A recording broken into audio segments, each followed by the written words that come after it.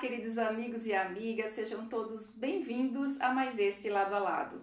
Hoje eu recebo o mestre e doutorando em literatura Bruno Henrique Coelho. O Bruno é saltense e recentemente lançou seu primeiro livro, O Infanto Juvenil, O Último Pássaro Daqui, que é ambientado em uma cidadezinha fictícia muito parecida com Salto. É essa a nossa conversa de hoje. Bem-vindo, Bruno. Olá, Mirna, muito obrigado. Muito feliz de estar aqui. Bruno, você é mestre e doutorando em literatura. Por que você escolheu começar, né, fazer o primeiro livro seu nessa linha infanto-juvenil? Eu diria que foi menos uma escolha e mais um, um resultado do trabalho. Quando eu comecei a escrita, eu não tinha muita ideia de para onde ela se encaminharia. E quando eu terminei, Aí eu tive sim uma noção de que o livro seria muito bem encaixado para o público infanto-juvenil, mais juvenil talvez, mas eu deixei com que a escrita me levasse uhum. para o caminho que ela precisasse. Antes desse livro eu fiz outras tentativas de escrita, né? E mesmo essa forma final é o fruto de, de um certo polimento de outros trabalhos que eu, que eu já vinha fazendo há alguns anos. E aqui saiu pela editora Saíra, né, com ilustrações da Priscila Ramos. Sim, a Priscila é uma ilustradora talentosíssima e ela foi, ela me foi apresentada por uma amiga em comum nossa. Uhum. E eu me tornei professor da filha dela.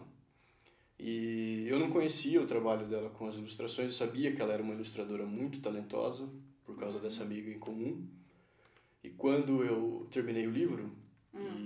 Tive o aceite da editora, eles me perguntaram se eu tinha alguma sugestão. E automaticamente eu falei: tenho, tenho uma, uma amiga ilustradora, é mãe de uma aluna minha, e gostaria que ela fizesse a ilustração. E ficou o resultado bom. ficou lindo. E Bruno, quando que foi o lançamento do, do Último Pássaro daqui? Foram dois lançamentos, um hum. no espaço da editora em São Paulo, na Zona Sul, e o outro foi aqui em Salto. Uh, nós escolhemos fazer dois lançamentos, um para o público de São Paulo e um para o público daqui. Aqui em Salto foi no Estação Arte Café Gourmet, é, do Kleber Volpato. Ah, do tenor Kleber Volpato. É, já esteve ele... aqui duas vezes já. Ah, é? Eu vou assistir a, as entrevistas dele aqui. Ele deu todo o apoio. Ele foi muito gentil, muito generoso e gostaria de agradecê-lo, inclusive, por ter cedido espaço e o tempo dele para que eu fizesse o lançamento junto com a Priscila lá. Muito bom, eu já li e recomendo, viu? É, tá à venda pelos marketplaces?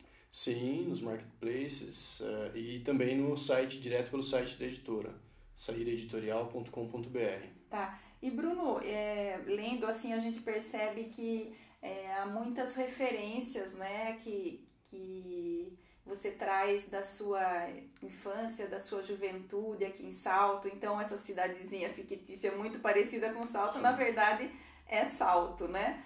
Fala um pouco desse, dessa inspiração que a cidade trouxe para você. Quem conhece a cidade vai reconhecer as ruas que eu menciono, a geografia, a descrição de alguns espaços, mas quando eu planejei a escrita, eu tentei de algum modo universalizar. Então eu não situo nada muito precisamente. Eu deixo que a imaginação complete as lacunas no, no na descrição da cidade. Uh, Salto é, é, muito importante na minha formação, não só por ser a cidade é, em que eu vivo desde sempre, mas por também pertencer a uma espécie de estar no mundo para mim.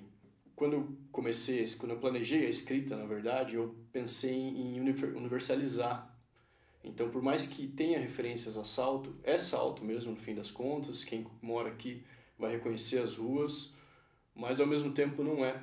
Para que o leitor de outras cidades, de outros tempos, inclusive, né, o livro está dado, então pode ser que amanhã, daqui a 10, 20 anos, ele seja, uhum. continue sendo lido, consiga se colocar também no lugar do protagonista. Por isso também eu escrevi em primeira pessoa, eu optei por esse foco em primeira pessoa para que o leitor tivesse a sensação de andar por essas ruas aqui e ao mesmo tempo que essas ruas daqui não fossem só daqui, mas do mundo. E você traz várias temáticas é, importantes aí para esse público, né? Por exemplo, a temática ambiental. Você fala do sumiço dos taperás, né? Olha eu dando spoiler aqui. é, de um zoológico que a gente realmente teve aqui em Salto, um zoológico na Ilha dos Amores. Sim. Comenta um pouco a, a importância dessa temática no livro. Um dos meus sonhos de vencedor, futuro vencedor da Mega Sena da Virada, é. é contribuir de algum modo com a preservação do meio ambiente. É, claro, estou fazendo essa brincadeira da Mega da Virada, mas é de algum modo, na minha prática cidadã, contribuir com o meio ambiente. Durante a pandemia, um dos meus hobbies foi plantar árvore nativa aqui pela cidade, junto de alguns amigos, uh, do David, do Fioravante. E o que nos incomodava muito era, o primeiro, descaso geral com o meio ambiente, e segundo, o fato de pouco, poucas autoridades públicas realmente se importarem com a preservação e a recuperação de áreas degradadas e do rio, uhum. que corta o estado inteiro. Uhum. Então esse foi um apelo muito forte para mim e é uma, digamos, uma causa é, que eu defendo. Por isso, o, o, meio ambiente é um dos temas que atravessam o livro. E que vão mexer aí com as futuras gerações que lerem, né? Sim. o, o Bruno, você traz também uma temática social aí, um, um conflito é, entre sindicato e empresa. Por que você decidiu colocar essa temática aqui também? Isso vem de como eu concebo a literatura. Né? Para mim, a literatura, é, em muitos sentidos, é uma espécie de denúncia ao estado de coisas. É, eu vejo que são três portas, então, que a literatura abre: a crítica, é, a utopia e o registro. Uhum. É, essas três portas servem para construir o presente. Não, eu não penso nem no futuro, eu penso mais no presente nesse caso do registro social. E esse aspecto social do livro trabalha exatamente por entra por essas três portas. É, tem uma vivência, uma breve vivência da minha infância. Eu, eu estive durante uma ocupação uh, de sindicato, uma intervenção sindical numa empresa. Eu era criança, meu pai era sindicalista. Tem uma mensagem para o presente, então é a mudança do status quo, que é a importância das forças unidas de trabalhadores e uma utopia, que é o desejo que isso volte a ser um dia verdade e seja verdade no hoje, principalmente. Então, o aspecto social da presença do sindicato, e aí eu vou dar um spoiler agora do livro, né? É, a presença do sindicato ela é acompanhada da força policial, que a princípio é uma força antagônica, opositora da força sindical, porque ela representa o braço do Estado numa época em que a gente saía da ditadura, que é mais ou menos o período em que se passa a história, embora não situe exatamente assim e que por fim essas duas forças antagônicas acabam do mesmo lado, né? no, nesse eixo da história elas acabam se juntando assim e a solução para esse conflito é uma solução eu diria amistosa. E você traz também uma outra temática que é, é emocional, que é a finitude da vida. É, por que você decidiu colocar essa temática da finitude num livro infanto-juvenil? Foram várias as razões, uma delas é até um pouco engraçada, assim, né? Eu preenchi o livro de referências pessoais. Uhum. Não significa que seja uma autobiografia, acho que passa longe da autobiografia, porque a realização é muito mais artística do que o registro da minha, da minha vida mesmo em si. Uh, essas referências à minha vida, por exemplo, os nomes são nomes de pessoas com quem eu convivo. Uh, foram suficientes para confundir as pessoas. De tal modo que minha mãe, quando leu, é. Achou que eu tivesse realmente feito aquilo. Minha mãe veio me parabenizou e falou: Bruno, eu não acreditava que você. Eu nunca ia imaginar que você libertou os pássaros. Eu falei: mãe, isso não aconteceu. é uma realização literária só, é. né? É, então, essas referências. É, fizer, algumas dessas referências fizeram parte da, da minha vida. Então, eu, eu vi três pessoas muito queridas mesmo no leito de morte não significa que eu tenha registrado isso no livro, né, mas essa experiência me marcou é, de, de um jeito que eu, que eu precisei transformar em, em arte, numa mensagem, assim, talvez para quem um, um dia passe por isso. E um segundo ponto é justamente a época em que eu escrevi. Eu finalizei o livro, a escrita mesmo, em agosto de 2020. É, a gente estava entrando no auge da pandemia.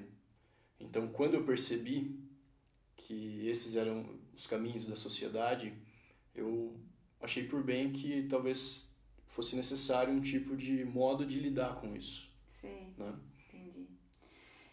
E você também traz aqui, o que eu achei muito legal, né, várias essas referências que você fala da sua infância, da sua juventude, e que para quem tem uma certa idade, assim, regulando com a sua idade, né, vai lembrar muito é, os Tazos de antigamente, os filmes, é, os desenhos infantis de antigamente. Você cita Cavaleiros do Zodíaco, por exemplo, que era um desenho que meus filhos assistiam e eu por tabela, né? muito legal, viu? Essas referências é, eu acho que é, cativam não só o público infanto-juvenil, mas os maiorzinhos também. O, as melhores respostas que eu tenho tido do, do, desse livro, na verdade, é do público acima dos 30, principalmente com 40, assim, que é o que mais ou menos vai regular com a minha idade. Uhum. E eles, eles falam que dá uma, uma sensação de nostalgia, de uma, uma certa felicidade melancólica, foi o termo é. que um deles usou para descrever a sensação de terminar de ler o livro. Uh, eu tive um, um certo problema, não vou dizer um problema, mas foi, né? Com essas referências, porque o público jovem, o público de 15 anos mais ou menos, não, não saberia o que era Tazo, é. poucos sabem o que é Cavaleiros do Zodíaco, né? Então, notas de rodapé uhum. para poder explicar. E é daí que e o, o editor gostou da sugestão e Tem é várias, surgiram né? as notas de rodapé. É. Muito bom, vamos falar um pouquinho então agora da sua do, do exercício do magistério. Aí você dá aula de redação onde, Bruno? No Colégio Sistema em Itu. Como é que tá essa essa inspiração dos alunos para a redação hoje em dia? É tá fácil de inspirá-los à escrita? É muito complicado competir com a agilidade das redes sociais. Uhum. É bem uhum. difícil. Mas eu me sinto muito privilegiado nessa escola onde eu trabalho, no Colégio Sistema, porque os alunos é, participam muito. Eles é, se interessam muito pelas aulas, especialmente os alunos do ensino médio. Sim. Na verdade, esse livro nasceu de uma aula. Né? Eu dei um tema, um título, na verdade, dei um título, que era outro, era um cachorro dividido. E para mim, eu escrevi um pássaro dividido. Hum. Uh, era para brincar com a ambiguidade do título e fui, fiz as primeiras páginas em aula. Então, geralmente, para inspirá-los, eu escrevo junto. Ah, que legal. No ensino médio, principalmente. Uhum. Para inspirá-los, eu escrevo junto. Uhum. E acabo mostrando, trabalhando com eles a realização final. Assim. Então, às vezes sai um conto, às vezes sai é, uma parte, como nesse caso, a primeira página do, de um livro. Uh, e eles se sentem muito felizes, assim, e alguns me dizem que se sentem privilegiados de poder é, acompanhar em primeira mão as coisas que eu, que eu escrevo, né? Ô Bruno, você falou aí da dificuldade de acompanhar é, o mundo digital, né? É, e agora vem aí o chat GPT, que, que eu acho assim, não sei como é que vai ser para fazer redação. Você vai ter, se os alunos vão ter que fazer redação só em sala de aula, porque se levar para casa o tema, vai ter muita redação parecida aí, né? Uhum. O chat GPT é uma ferramenta digital que de aprendizagem automática, quer dizer, quanto mais as pessoas interagem com essa ferramenta, mais ela vai aprendendo, uh, que produz textos. Então você digita um tema, ela automaticamente em segundos devolve uma redação, sei lá, de 30, 40 linhas, às vezes de páginas, né? Ela, ela, ela dá conforme as palavras. Você fala assim, quero 600 palavras, Isso, ela... ela produz as 600 é, palavras para você. Inteligência artificial, né? Sim. É, eu acredito que o caminho das aulas de redação seja a produção em sala de aula, justamente por isso. Uhum. E me entristece um pouco que algum aluno considere mesmo usar a ferramenta para para fazer um trabalho escolar, por exemplo. Porque passar vários anos na escola e não conseguir fazer uma redação é muito frustrante, né? É, e, de certo modo, é até um pouco um desperdício de tempo, Se passar tantos anos para trocar aquilo que você e só você pode produzir, é, o meu psicanalista, por exemplo, Dr. Ney, quando leu o livro, ele falou assim: só quem correu pelas ruas é que pode escrever isso que você escreveu. Então, cada aluno tem uma vivência própria que pode transformar num texto que é único e que é de certa que, que é um pouco da identidade deles. E muito mais rico, né? Muito mais rico porque tem a vida deles ali uhum. nas palavras, mesmo que não seja uma biografia, mesmo que seja uma dissertação, tem a identidade deles. Então, acho que vai, é, vai por enquanto, a minha visão sobre o chat GPT é que ela vem menos do que para uh, aniquilar as aulas de redação, para aniquilar a identidade de escrita. Por enquanto. Pode ser né? que amanhã eu mude de ideia, né? mas nesse momento é o que eu, o que eu penso, a minha perspectiva. Bruno, você fez mestrado e agora já está doutorando. Qual é o assunto da sua, dos seus estudos agora no doutorado? No doutorado eu estudo um escritor angolano chamado Gociante Patissa, contemporâneo, é, ativo nas redes, e eu estudo a partir da perspectiva do materialismo cultural. Em que condições é, materiais a produção escrita se insere no mercado editorial e na cultura angolana de modo geral. Hum. É, esse é o meu interesse ao observar a obra do Gociante Patissa. No mestrado, eu pesquisei outro escritor uh, angolano, contemporâneo também, o Ondiak. Eu analisei o livro Os Transparentes, é, sobre o viés da destruição da cidade de Luanda, que é a alternativa ou a proposta de reconfiguração de uma nova, de uma ordem para aquela sociedade. E quando que você é, decidiu que queria seguir essa carreira acadêmica? Quando? Foi, imagino, assim, situando exatamente, foi em 2013 que eu considerei uh, entrar para a vida acadêmica. Eu tinha feito uma pós-graduação em teorias linguísticas e ensino alguns anos antes e vi que a carreira acadêmica talvez pudesse ser para mim uma alternativa melhor do que a sala de naquela época uma alternativa melhor do que a sala de aula do ensino fundamental e médio. Hum. Eu achava que não levava tanto jeito com adolescentes. E então eu preparei durante um ano e meio, dois anos quase, um projeto de mestrado e ingressei sob, no mestrado sob orientação da professora Tânia Macedo, da USP, e no doutorado sob orientação da professora Regiane Vecchia, também lá da USP. Também lá da USP, né? Sim. E eu sei também que você escreve poesias, né? escrevo. Vem livro por aí de poesia? Bom, escrevo, escrevo sim os poemas, tenho já um livro bem avançado, é, mas a publicação depende mais da editora do que, uhum. do que dos autores, né? Assim que eu terminar a escrita, eu vou procurar uma editora que se interesse, mas acredito que por causa do tema isso demore um, um tempo. É, a amarração entre os meus poemas é um viés erótico metafísico, muito próximo da Hilda Hilst em seus livros de, de poesia. Eu investigo outras coisas, é claro, tenho uma outra fluência, mas tematicamente próximo do, do que a Hilda produ, produziu.